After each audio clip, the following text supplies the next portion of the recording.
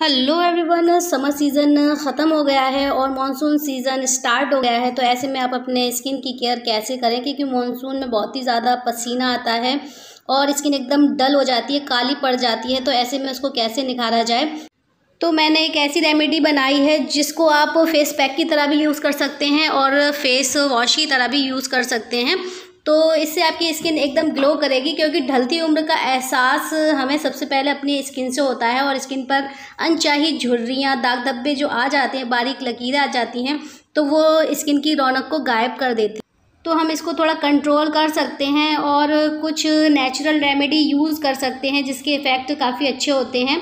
तो यहाँ पर लिया है मैंने दो चम्मच बेसन का आटा। ये एंटी पिंपल होता है और स्किन को अच्छी तरह से टोन देता है। अपने स्किन की टोनिक की तरह काम भी करता है और स्किन को एक्सफोलिएट करता है। और लिया है दो चम्मच लाल दाल का पाउडर जो कि मार्केट में भी है और आप घर पर भी इसको बना सकते हैं। स्किन वाइटनिंग के लिए काफ़ी अच्छा है पिंपल्स रोकता है।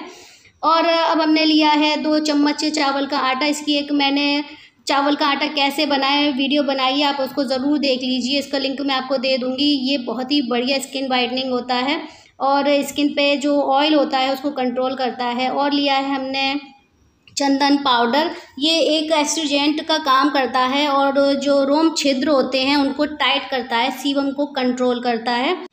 आधा चम्मच हमने इसमें डाली है हल्दी। ये खाने वाली हल्दी नहीं है। ये है कस्तूरी हल्दी या कस्तूरी मंजल इसे जंगली हल्दी भी कहते हैं। और ये सिर्फ़ स्किन प्रोडक्ट में ही यूज़ होती है। सिर्फ़ आप इससे स्किन पैक या फेस वॉश ये ही बना सकते हैं। इसमें ही इसका काफ़ी अच्छा असर रहता है और कोई स्पॉट नहीं छोड़ती है, जैसे हल्दी छोड़ देती है।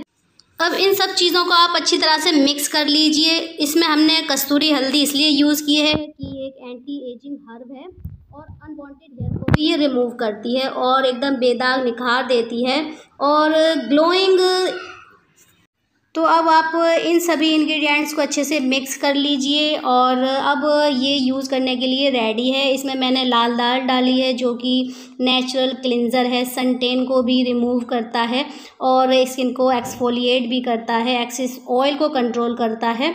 और इसको अब हम एक एयर टाइट कंटेनर में भर कर रखेंगे क्योंकि मानसून स्टार्ट हो गए हैं और यहाँ मानसून में बहुत ही ज़्यादा मॉइस्चर होता है, जिसकी वजह से ये ख़राब हो सकता है। तो आप इसको एयर टाइट में भर कर रखें और जब भी आपको यूज़ करना हो तो आप इसको यूज़ कर सकते हैं। काफ़ी टाइम तक आप इसको यूज़ कर सकते हैं। तो ये बहुत ही बढ़िया एक फेस पैक की तरह भी काम करेगा और फेस वॉश की तरह भी आप इसको यूज़ कर सकते हैं। तो इसको आप अलग अलग तरीके से अलग अलग टाइम पर यूज़ कर सकते हैं।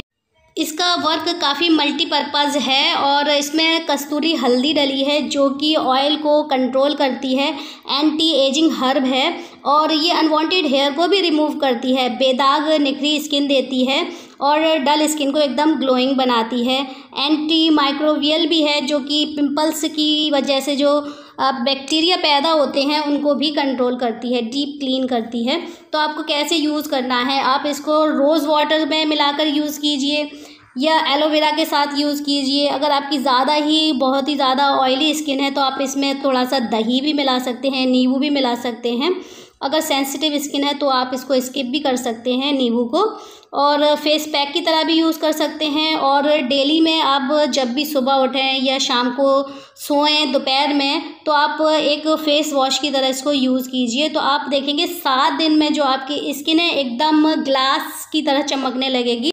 और एकदम स्किन साफ़ हो जाएगी आपकी और पिंपल्स की प्रॉब्लम बिल्कुल दूर हो जाएगी। काफ़ी हद तक आपके पिंपल्स और उसके जो मार्क्स हैं, वो एकदम हल्के हो जाएँगे।